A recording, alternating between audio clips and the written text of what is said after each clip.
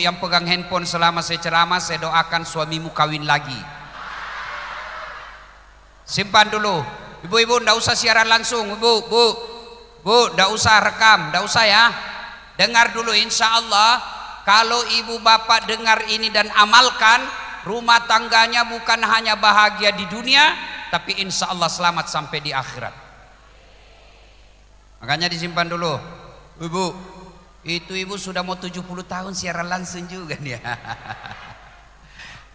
oke ibu bapak saudara-saudara sekalian kalau kita rajin nonton tayangan kriminal miris hati kita melihat rumah tangga ada istri yang sirami suaminya air keras sampai hancur wajahnya. Ada suami yang memutilasi istrinya.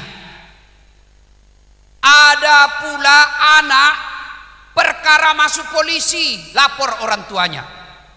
Dan tidak sedikit kita melihat ada orang tua yang hamili anak gadisnya. Padahal ketika menikah banyak ulama yang doakan Ketika menikah kembang ramai betul berkilo-kilo ucapan selamatnya. Tapi kenapa setelah menikah tidak ada yang diharapkan? Dia tidak mewujudkan apa yang disebut mawaddah, sakinah, mawaddah warahmah. Kenapa? Karena dia membina keluarganya tidak berdasarkan tuntunan agama. Maka penghormatan saya kepada kedua mempelai, adindaku dan Ditio dan Syakira.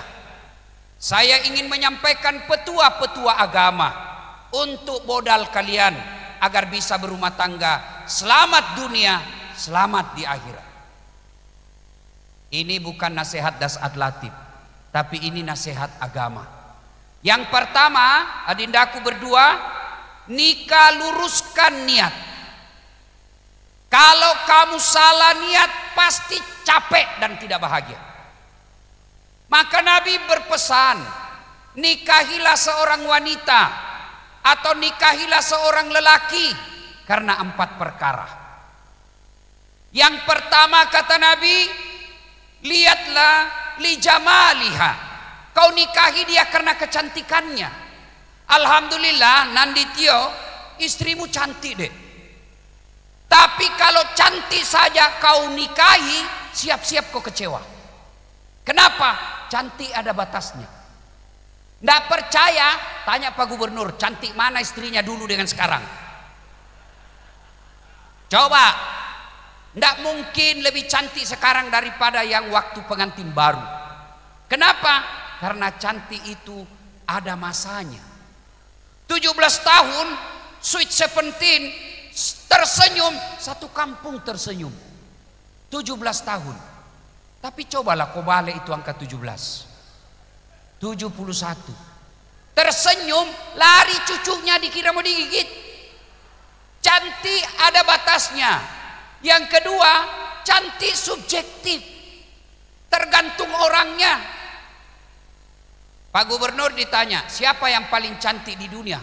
Maka beliau pasti jawab, yang paling cantik di dunia adalah istri saya. Pak Iskandar tidak boleh protes. Yang cantik istri saya, itu urusan bapak. Maka cantik menurut Pak Gubernur, belum tentu cantik menurut Pak Iskandar. Cantik menurut Dasat Latif, belum tentu cantik menurut Pak Wagub. Maka cantik itu subjektif. Boleh kau jadikan ukuran, tapi tidak boleh jadi prioritas. Kenapa? Cantik ada batasnya. Cantik sekarang. Tapi kira-kira tiba-tiba kena stroke, Mana ada cantik lagi kalau kena stroke? Huh. Oh, hilang cantiknya. Yang kedua kata Nabi, nikahilah dia karena keturunannya. Boleh cari keturunan baik-baik. Yang orang Jawa katakan bebet, bibit dan bobot. Tapi jangan prioritas. Kenapa? Ada orang bapaknya Nabi, anaknya jadi pengkhianat. Nabi Nuh ada orang bapaknya pengkhianat, anaknya jadi nabi. Ibrahim alaihissalam. Maka adindaku Nanditio, kalau kau nikahin istrimu karena anak bupati, siap-siap kau kecewa. Kenapa? Sudah hampir habis jabatannya. Ya, pasti toh, pasti. Kau nikahi anaknya Pak Gubernur karena Gubernur paling lama lima tahun. Beruntung kalau dua periode. Amin. Iya toh. Maka ketika kau nikahi orang karena dia anak pejabat, maka siap kau kecewa karena jabatan ada batasnya. Pak Iskandar sebentar lagi. Selesai cabut Garuda. Sudah habis jabatan masih pakai ke pasar. Orang bilang sudah gila itu bapak itu. Iya kan? Maka jabatan boleh jadi pertimbangan, tapi jangan jadi prioritas. Kenapa? Ada batasnya.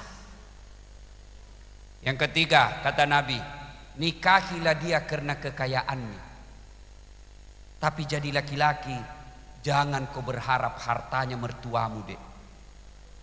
Laki-laki pecundang kalau mau hidup di harta mertua.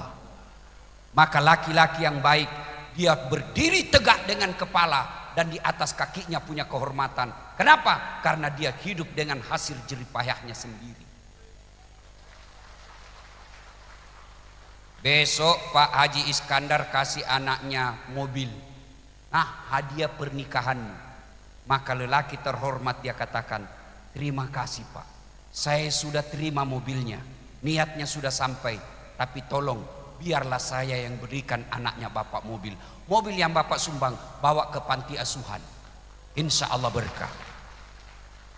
Itu bos. Jangan cepat Pak, cepat. Hilang kita punya harga diri. Ya. Yang ketiga, yang keempat kata Nabi, nikahilah dia karena agamanya. Oh, bertanya mahasiswa saya, Bu. Kenapa agama nomor empat? Mestinya agama nomor satu.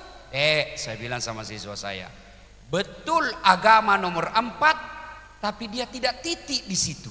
Dia koma, ada penegasannya, ada garis besarnya, di garis bawahi, dikasih stabilo, dikasih bol, cetak miring. Penting, Nabi tegaskan, utamakan agamanya, karena dengan agama kau akan dapat semuanya. Ada perempuan cantik betul, cantik, tapi dongo, beleng-beleng. Lain dibilang, ha, ha, ha, ha, ha. Capek suaminya jelaskan, apa pak, apa pak, ha, ha.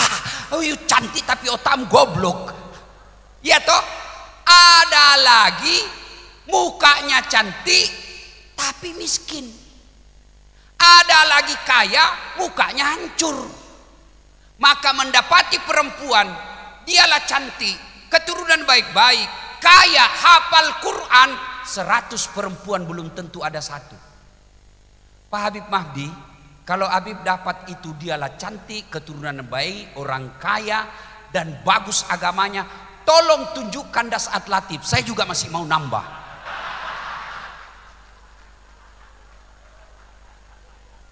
Bapak, ibu, saudara-saudara sekalian, satu, luruskan niat.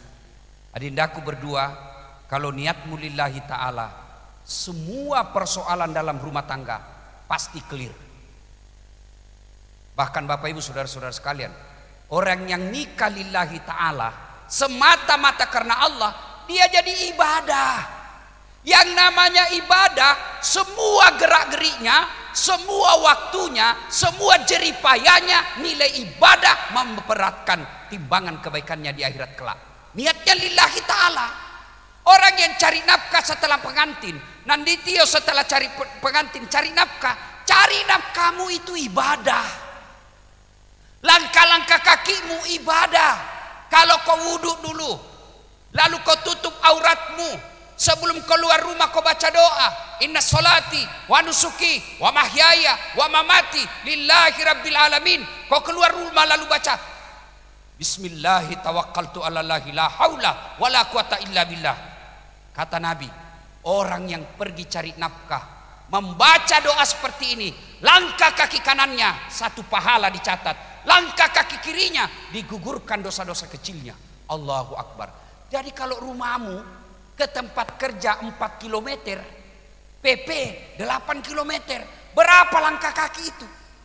Apalagi kalau kau sampai di kantor keliling-keliling lapangan, berapa langkah kaki kau dapat? Apalagi kalau jalanmu begini. Boleh lebih banyak lagi langkahnya. Lillahi ta'ala. Bapak ibu saudara-saudara sekalian. Kalau kita nikah lillahi ta'ala. Demi Allah. Pikiranmu yang capek cari nafkah. Keringatmu yang bercucuran karena cari nafkah. Itu adalah jihad fisabilillah. Saudaraku, ada seorang sahabat Nabi. Dia bukan sahabat utama, tapi pernah dicium tangannya oleh Rasulullah. Bayangkan Pak, ketemu Pak Gubernur saja, Hah? kita sudah selfie-selfie. Pak Hermanderu, selfie dulu. Padahal Pak Hermanderu paling lama 10 tahun. Sudah bangga kita Pak. Kita selfie-selfie. Gimana kalau ketemu Rasulullah? Ini bukan cukup sekedar ketemu Rasulullah, dicium tangannya oleh Rasulullah. Allahu Akbar. Siapa? Dialah Mu'adz bin Jabal. Jabat tangan dengan Nabi. Orang kalau jabat tangan, Rasulullah itu kalau jabat tangan Pak, adabnya tidak pernah beliau dulu lepas tangannya. Tapi menunggu sahabatnya tarik tangannya, baru Nabi lepas. Waktu jabat tangan dengan Mu'adz bin Jabal, dijabat, kentara tangannya Mu'adz bin Jabal kasar. Coba Bapak jabat tangan dengan Pak Gubernur, dengan buruh harian di jalan. Pasti beda itu rasa-rasanya. Iya toh? Parfumnya juga beda. Kalau Pak Gubernur parfumnya yang original, kalau yang di pinggir jalan buru-buru kasar, parfumnya parfum palsu campur bau matahari. Jabat tangan. Nabi rasa kasar betul tangannya ini orang. Lalu Nabi bertanya, Muaz, kenapa tanganmu kasar begini? Ya Rasulullah, saya ini buruh pekerja batu. Saya ambil batu-batu besar di gunung, lalu aku pecah-pecah jadi kecil, lalu aku jual di, di pasar. Maka tangan saya kasar. Nabi terharu, lalu mengambil telapak tangannya Mu'adz dan diciumnya tangannya Mu'adz bin Jabal. Lalu Nabi bersabda, Mu'adz, inilah tanganmu yang menghalangimu nanti masuk neraka karena engkau cari nafkah secara halal untuk anak istrimu. Maka dindaku, cari nafkah. Kalau niatmu lillahi ta'ala, itu adalah pahala yang memberatkan timbanganmu di akhirat kelak. Satu, luruskan niat. Yang kedua, nasihat buat kita semua ini.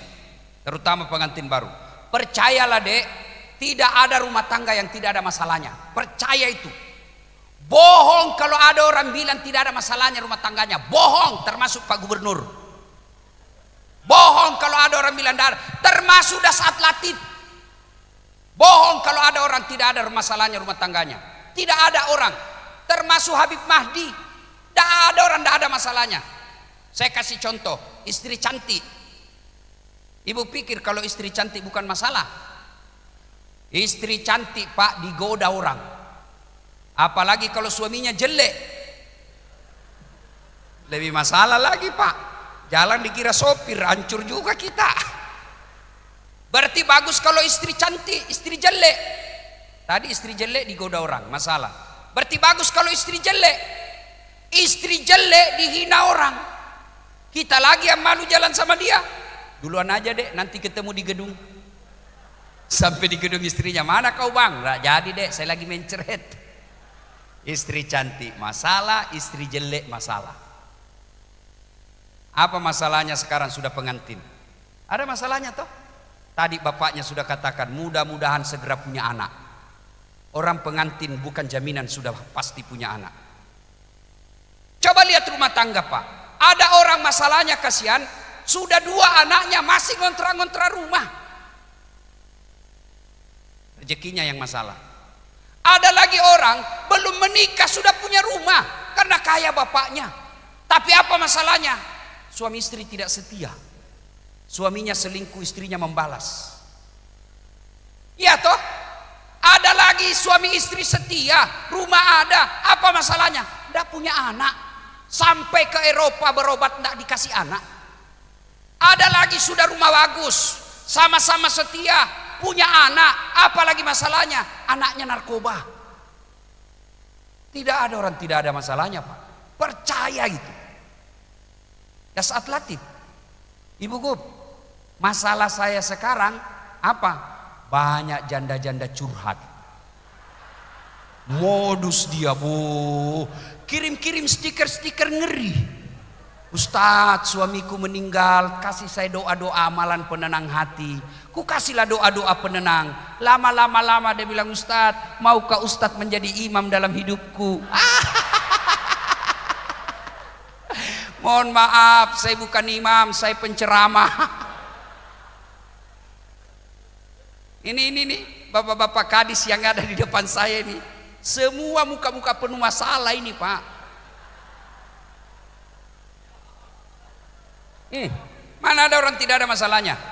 Jangankan Bapak Ibu sekalian, jangankan Dasat Latif, jangankan kita ini manusia-manusia sekarang yang banyak medsos, punya peluang kita berselingkuh, punya peluang kita berzina, mata. Kurang apa Rasulullah? Kurang apa cintanya Allah kepada Rasulullah? Kurang apa dekatnya Rasulullah kepada Allah? Kurang apa ibadahnya Rasulullah? Tapi apa tidak ada masalah dalam rumah tangga beliau? Allahu Akbar. Aisyah pernah difitnah selingkuh ketika di Madinah. Itu Aisyah. Rasulullah dalam ekonomi pernah dijelaskan tiga hari tiga malam tidak makan akhirnya Hasan Hussein pucat cucu beliau itu Nabi dalam struktur kemasyarakatan beliau bukan cuma dibully bukan dibully bukan dimaki di medsos beberapa kali uji coba pembunuhan itu Nabi bedanya apa semua pasti punya masalah. Nabi ketika ada masalahnya, beliau langsung pegang janji Allah. Ista'inu bisabri wassalah. Sabar, perbaiki solatmu, saya yang selesaikan masalahmu. Itu janji Allah. Jadi di lidaku pengantin baru, begitu ada masalahmu, besok lusa, jangan kau terlalu cepat curhat sama mertua atau ibu bapak. Karena ada orang bertengkar langsung datang ke rumah. Tidak kusangka. Ngapain kau curhat sama ibumu? Akhirnya ibu marah, anaknya ditelantarkan. Akhirnya kata, nggak usah, ngapain itu suamimu? Cakep-cakep ternyata munafik. Istrinya makin cerita jelek suaminya. Iya dia pegang uangnya mak. Nggak pernah saya dikasih. Kasar ngomong. Eh satu bulan kemudian akur lagi sama suaminya. Apalagi ibumu sudah tahu kelemahan suamimu. Hilang derajatnya suamimu depan ibumu. Kenapa? Dia sudah tahu kekurangannya. Maka demi Allah jangan cerita keburukan pasanganmu kepada orang lain. Ah, tidak mungkin dia cerita saya Ustadz. Itu saudara saya. Masa dia mau cerita aib keluarga saya waktu saya curhat? Eh, eh, woi, bu, bu, Siapa yang dorong Nabi Yusuf turun ke sumur? Siapa? Saudaranya sendiri. Ah, masa sih dia cerita aib saya waktu saya curhat? Itu kan paman saya. Bapakku dengan bapak dia bersaudara. Siapa Abu Lahab? Siapa Abu Lahab? Pamannya Nabi. Tidak mungkin dia cerita Ustaz. Saya masih sepupu. Siapa Abu Sofyan? Sepupunya Nabi. Itu pelajaran. Jangan kau rahasia rumah tanggamu kau au ungkap-ungkap. Tidak usah. Lalu bagaimana ketika ada masalah? Ambil wudhu. Ambil sajadah. Ngadu kepada Allah. Tidak harus pakai bahasa Arab. Ya Allah. Engkau yang maha memelihara. Pelihara suamiku ya Allah. Aku melihatnya ada whatsappnya aneh-aneh ya Allah. Oh, ada tanda lupi-lupi ya Allah. Boleh, ibu boleh begitu. Sampaikan curhatmu di hadapan Allah. Tidak mesti bahasa Arab. Dari bahkan boleh pakai bahasa isyarat. Boleh.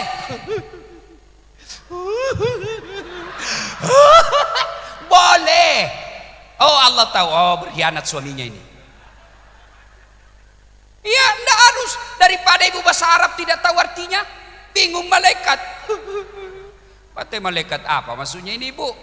Dia mau doa suami setia, doa yang dia minta, doa makan. Suaminya dia mau makan. Ayo Bapak Ibu Saudara-saudara sekalian, ada masalah, perbaiki sholat. Sudah bersolat, namanya sholat hajat. Sholat hajat tidak harus, karena ibu-ibu biasa nanya saya, Ustadz, apa niatnya sholat hajat? Ya niatnya tidak harus pakai bahasa Arab, kalau mau pakai bahasa Arab, salli sunnatal hajjati. Rakaataini lillahi taala Allahu akbar. Nah, itu bahasa Arab. Bahasa Indonesianya, saya niat sholat hajat dua rakaat, sunnah hukumnya bagi saya lillahi ta'ala, Allahu Akbar. Ketika sujud terakhir, di situlah tempat paling mustajab untuk berdoa. Silahkan sampaikan keluhan, nangis di depan Allah. Kau yang menitipkan rasa cinta dalam hati suamiku, buat dia tertarik kepadaku, biar dia pusing kalau dia tidak lihat saya 24 jam ya Allah. Yang ketawa, saya serius ini bu. Cuma masalahnya ibu-ibu rajin doa memang. Dia rajin memang doa. Sedikit-sedikit berdoa. Ya Allah berkahilah penghasilan suamiku. Sepuluh menit kemudian dia dia doa lagi. Ya Allah lindungilah suamiku. Tapi di mana dia berdoa? Di status Facebook. Sibuknya itu Tuhan mau baca statusmu. Maka berdoa di atas sajadah selesai sholat. Kenapa ya suami saya kasar? Lihat sholatnya. Kenapa ya ekonomi rumah tangga saya kok susah meluh? Lihat sholatnya. Tidak mungkin Allah sengsarakan rumah tangga orang yang baik sholatnya. Ya. Dua. Tidak ada rumah tangga yang tidak ada masalahnya. Semua pasti punya masalah. Yang ketiga, adindaku berdua. Kalau kalian mau sukses, bahagia di dunia, tidak perlu kau datang ke kubur ini cari berkah karoma ini, karoma ini, guru ini, habib ini tidak. Karoma paling depan berdepan mata ibu bapak. Mustahil dan tidak akan kau dapat kebahagiaan rumah tangga kalau kau kurang ngajar sama ibu bapak. Tolong adik-adik berdua. Coba lihat ini tamu-tamu. Luar biasa. Kepala daerah, gubernur bos hadir Kenapa? Bukan karena kalian berdua, karena bapakmu.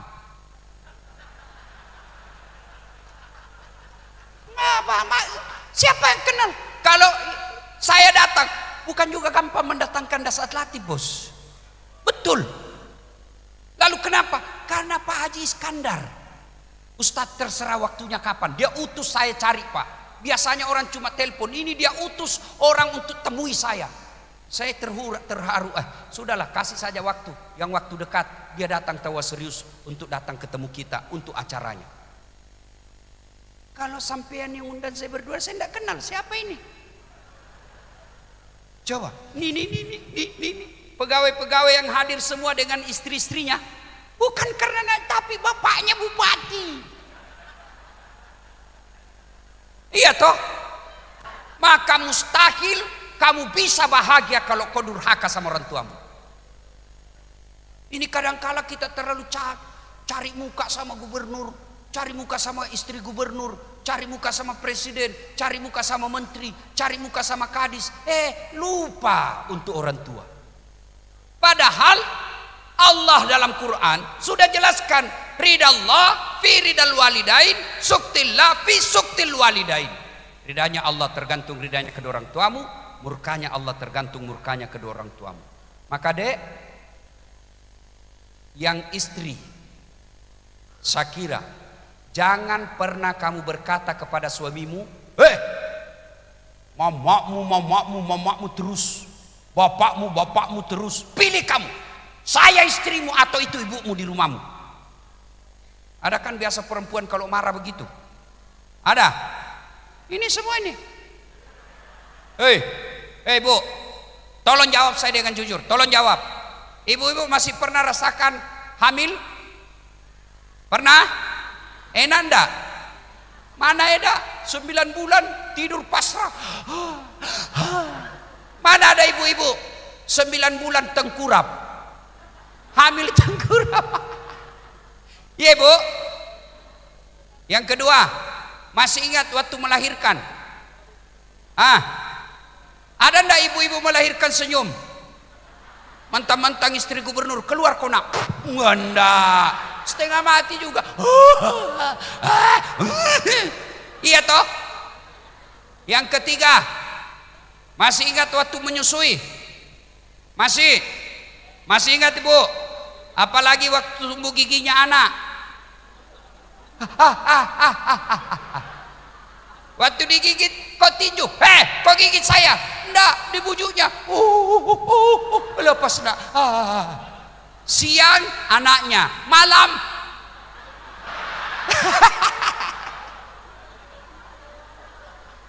Eh, Bu, ini nih bu, ibu, ibu, eh, yang selalu bilang pilih mamamu atau saya istrimu. Dengar ini saya tanya, bu, ibu, siapa yang mengandung suamimu? Siapa yang lahirkan suamimu? Siapa yang nyusui ibu, bu, suamimu? Sekarang siapa yang terima gajinya suamimu? Ah, ah, istrinya toh Mamanya pun kalau dikasih sembunyi-sembunyi, lebih-lebihnya penghasilannya. Maka jangan pernah kau katakan, pilih saya istrimu atau ibumu.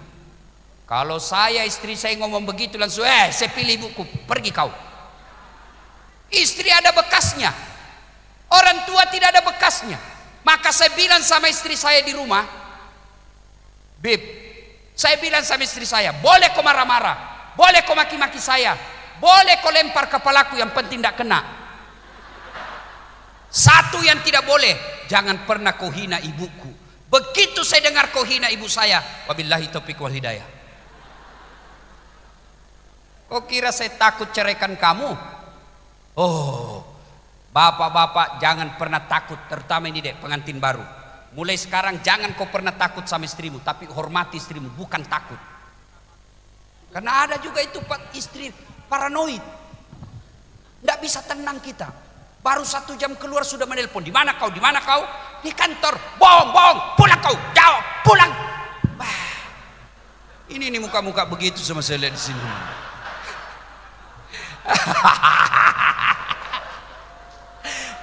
bilang, ada teman saya dia bilang, susah Ustaz kalau istri ngamuk, dia kasih pecah piring.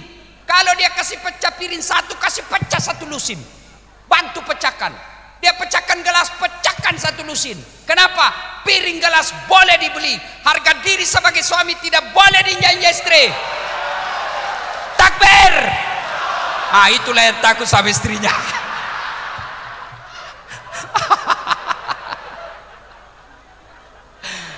Pak Gub, istri saya ngomong gini Pak Gub. Ustadz, kau boleh singgah panggung di luar.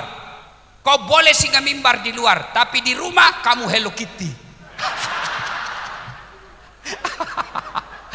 Memang beginilah kita laki-laki.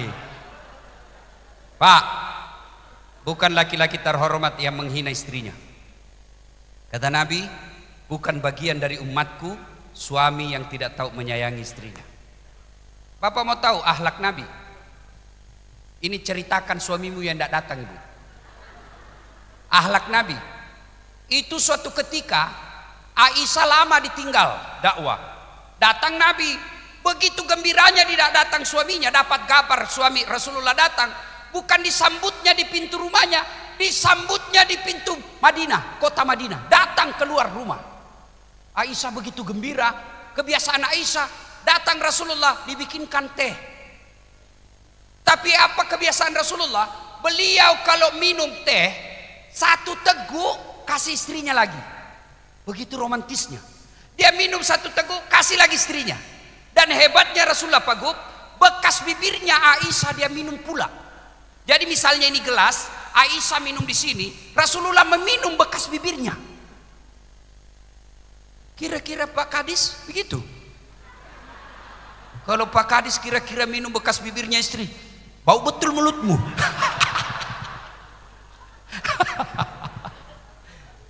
Lalu pada saat itu Rasulullah minum teh satu teguk. Aisyah menunggu. Kok giliran saya tidak dikasih? Minum kedua kalinya teguk. Eh kok tidak dikasih? Ketiga kalinya belum. Akhirnya Aisyah cemburu dan berkata, Ya Rasulullah, apakah ada perempuan lain yang telah memberimu minum di luar? Barulah Rasulullah memberikan. Dan setelah diminum Aisyah, muntah Aisyah. Ternyata apa? Salah resep. Garam dikira gula. Kenapa Rasulullah tidak memberi istrinya? Karena Rasulullah tidak mau kalau istrinya malu. Dindaku Nanditio, coba kau amalkan ini. Coba kau amalkan. Salah, bagaimana? Uh, Ini masakanmu paling nikmat. Tidak ada kalah di Palembang ini.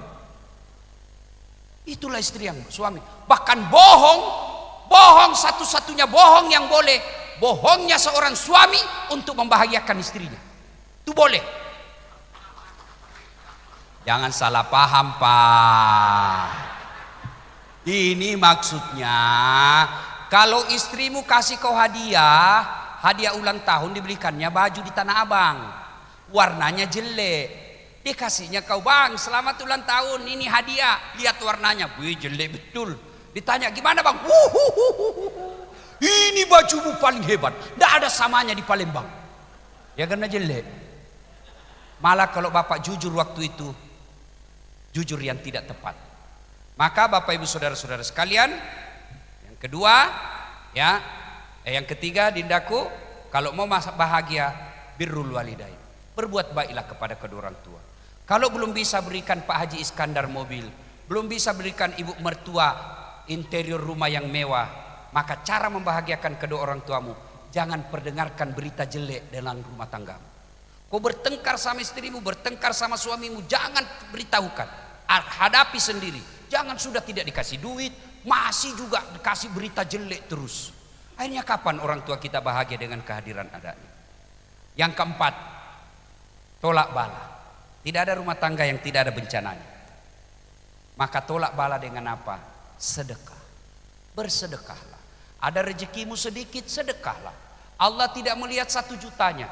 Allah tidak melihat sepuluh jutanya. Tapi mulai berumah tangga dek, mulai bulan ini, tiap bulan ambil sedekah untuk membantu orang. Ada sepupumu yang miskin lebih utama kasih sepupumu. Jangan sampai rumahmu mewah. Jangan sampai interior rumahmu mentereng. Tapi tidak ada orang yang mau datang. Dia bilang apa? Tidak usah. Memang sepupumu itu nak. Tapi ada dia kasar, pelit. Demi Allah, tidak ada orang suka orang pelit. Bahkan orang pelit sekalipun tidak suka sama orang pelit. Tidak usah kau ke rumahnya pelit. Dan tidak ada orang yang tidak senang orang dermawan. Percaya Pak, semua orang senang dermawan. Maka saya titipkan Pak Gubernur. Kalau Pak Gubernur mau dua-dua periode, jadilah dermawan. Jangan terlalu pelit. Tapi saudaraku, ibu bapak majelis taklim, Kedermawanannya gubernur bukan memberi duit. Berapa gajinya gubernur? Tapi kedermawannya gubernur adalah melahirkan pembangunan dan kesejahteraan kepada rakyatnya. Itulah sedekahnya. Itulah sedekahnya. Sedekahnya Kapolres, sedekahnya Dandim ciptakan keamanan. Sedekahnya anggota DPR bikin perda yang membuat masyarakat gampang cari kerja. Itulah sedekahnya kita. Maka tolak bala ini adalah dengan cara bersedekah. Banyak yang ingin kita sampaikan, tapi waktu jualah yang membatasi kita. Oh ada saya lupa. Ini nasihat buat pengantin. Sekarang nasihat buat kita ini pengunjung. Ini saya lupa. Satu, biasanya kalau ada pengantin begini banyak yang tidak sholat. Terutama ibu-ibu. Yang mikapnya terlalu padat. Gara-gara mikap tidak sholat. Bagaimana solusinya? Kan datang Ustadz kita mau make up, mau sholat juga. Caranya wudhu dulu, baru make up. Sudah itu tahan kentut. Karena biar sudah wudhu, sedikit aja Ustaz tidak habis, tetap batal. Bagaimana kalau jabat tangan? Berbeda pendapat ulama. Syafi'i batal, Imam Ahmad selama tidak nafsu tidak batal. Maka saya kalau majelis taklim saya, adik-adik mahasiswa saya, saya tidak mau jabat tangan selesai ujian. Gini saja, Eh kenapa Ustadz? Sudahlah kau masih muda saya juga masih muda. Eh masa Ustadz nafsu? Iya ayat tidak mengatakan lata kerabusina illa Ustadz. Jangan dekati zina kecuali Ustadz. Biar Ustadz kalau cewek cantik hancur juga. Maka saya begini saja sama mahasiswi saya. Tapi kalau emak-emak majelis taklim yang usia-usia 60, 65, 70, saya jawab tangan lah. Tidak mungkin saya nafsu sama emak-emak. Tak tahulah kalau mama nafsu sama saya. Tuh, dua. Biasanya kalau ada acara begini, banyak yang praktek mubasir. Terutama kasihan air gelas. Belum habis cucu lagi gelas yang lain. Belum habis cucu lagi gelas lain. Jangan, itu praktek setan. Telur, mestinya hanya mampu makan satu iris, jangan kau ambil dua iris. Begitu sudah masuk di piringmu jadi sisa, tidak ada, maka dibuang saja. Tidak ada yang mau makan. Kita lihat nanti kalau makan ini. Apakah banyak praktek mubasir? Yang ketiga, biasanya kalau ada cara begini banyak pulang bawa dosa. Kenapa pulang bawa dosa? Datang mencela caranya orang. Bahkan pasangannya orang pun dia celah. Bodohnya suaminya. Nih. Kenapa? Tidak serasi kudungnya. Kayak umbul-umbul. Semua orang mau diurusi. Dasat aja pun dicela. Hmm, kecil aja rupanya orangnya. Ini saya tadi lewat ada juga yang celah saya. Dia bilang itu lagi bajunya waktu di YouTube. Ini nih, nih muka-muka pencela-cela ini semua datang. Ya, tiga, empat. Biasanya kalau acara begini banyak yang pulang tersinggung.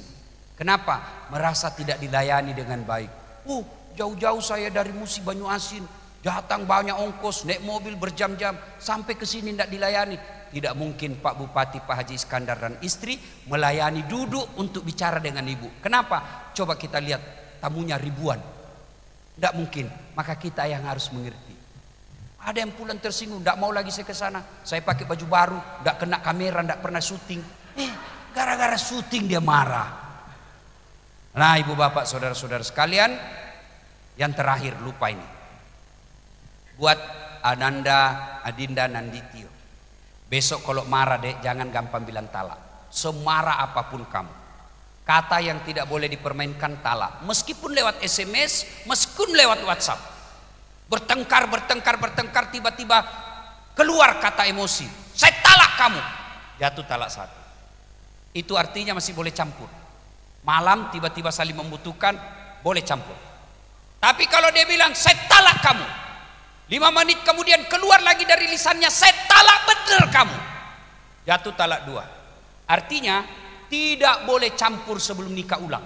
Harus ada ijab kabul, ada mahar, ada wali, ada saksi, nikah ulang, baru boleh campur. Kalau kau campur tidak nikah ulang, berzina hukumnya. Saya talak kamu. 10 menit, saya talak betul kau. 15 menit kemudian dia keluar dari rumahnya dia banting pintu saya talak kamu. Jatuh talak tiga. Artinya tidak boleh kau campur. Itu istrimu cerai dulu baik-baik. Lalu dia nikah menunggu tiga kali haid lalu menikah dengan laki-laki lain. Ternyata laki-laki tersebut juga dia tidak senang. Lalu dia cerai lagi. Kita menunggu masa iddah tiga kali haid baru boleh kita nikah ulang dan campur Bagaimana itu kan tidak ada di pengadilan agama. Pengadilan agama untuk administrasi dunia terutama tentang hak harta mawaris. Tapi untuk yang berlaku ketetapan agama Allah ini jangan gampang bilang talak. Ya. Bagaimana kalau perempuan bilang talak saya? Talaka talaka talaka talaka talaka talaka biar sampai di atas pantatnya. Kenapa? Tidak sah Kenapa? Hak talak ada sama laki-laki, bukan sama perempuan. Ibu bapak saudara-saudara sekalian, inilah tausiah kita. Mudah-mudahan ada manfaat. Sebelum, kenapa ibu? Terus, terus. Memangnya pilkada. Biar Pak Herman Deru yang terus, tidak usah ya ya. Insya Allah, amin. Ibu bapak, sebelum kita akhiri, mari kita kirimkan suratul Fatihah kepada Rasulullah Muhammad Sallallahu Alaihi Wasallam Hasiat dan keutamaannya kita ikhlaskan untuk kedua mempelai. Mudah-mudahan pernikahan Anandaku, adinda kita semua, saudara kita, sanak saudara kita ini diberikan keturunan yang soleh dan soleha, dibahagiakan rumah tangganya dunia dan akhirat. Al-Fatihah.